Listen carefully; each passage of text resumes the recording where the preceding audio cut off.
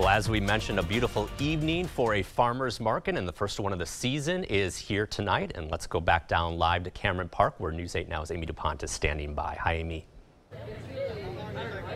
Hey, Mike. I'm so glad you can hear me now because I have so much to tell you. Yes, this is opening day for the Cameron Park Farmers Market. The weather is perfect.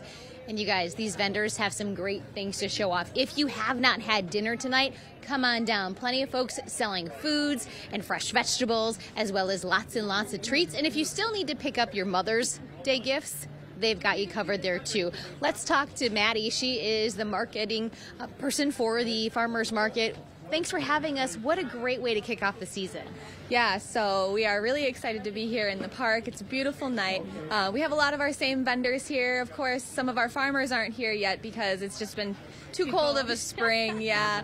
So luckily, we have a lot of new faces. We have a lot of customers strolling by. It's just a really pleasant and calm night in the park. What's so neat about this market is that everyone is relatively local. They're from within a 100 mile radius, and they are they're small business owners in our area. Yeah, it's awesome. So actually, this is Small Business Week, so it's really nice to end it off on a good note with you know buying from our local small businesses here in the area.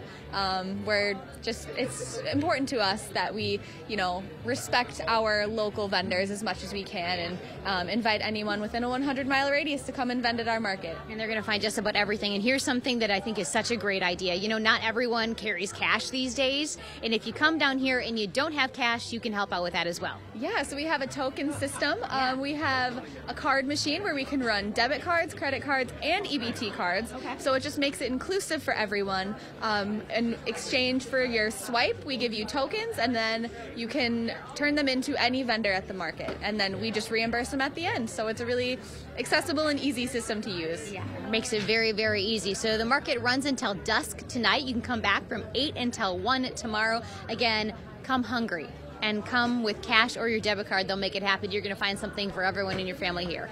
We are live at Cameron Park tonight. Amy DuPont, News 8 Now. All right, looks great. Thanks a lot, Amy.